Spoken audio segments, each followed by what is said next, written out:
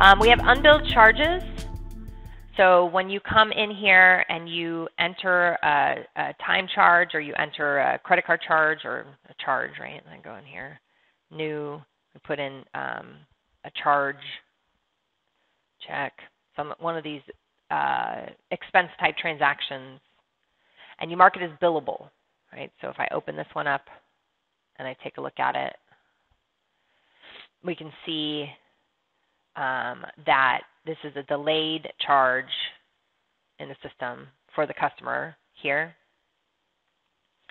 Um, or if it's on an expense tab, right, then um, you would you would see that checkmark box to um, invoice out to the customer.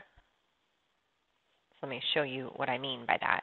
So I come in here to check, say, automobile billable to this customer.